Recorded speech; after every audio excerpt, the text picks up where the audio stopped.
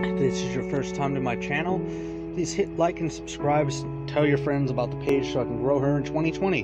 What is the difference between a short radiator and a tall radiator when it comes to Model Ts?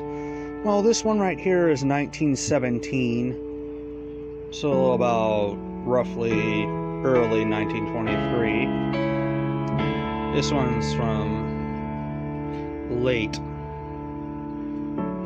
23 to uh, 27. Notice there's a slight difference. That, that, and plus it was made by a different company.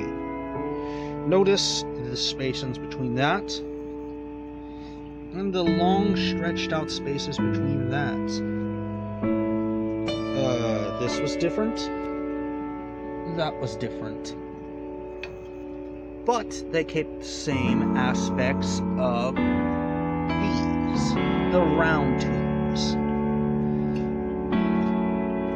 And it was pretty much the same basic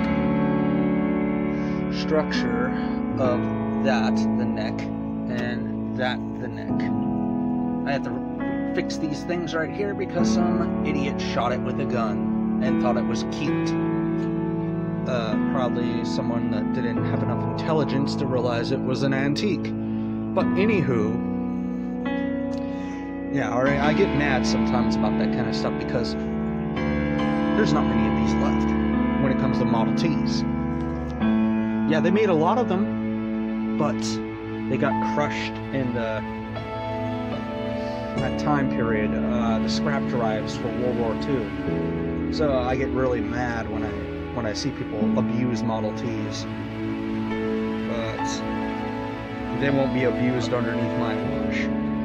If you liked my uh, video, please hit like and subscribe. Now back to the video.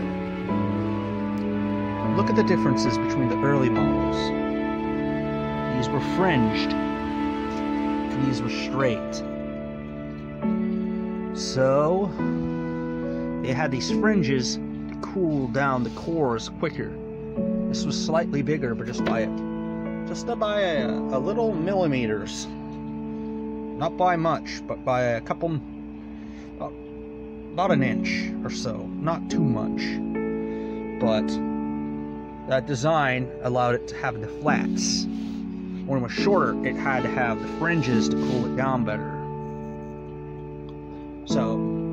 I'll talk to you ladies and gents later, but I wanted to show you the differences between the low radiators and the high radiators, so that way you don't get stuck with the wrong one.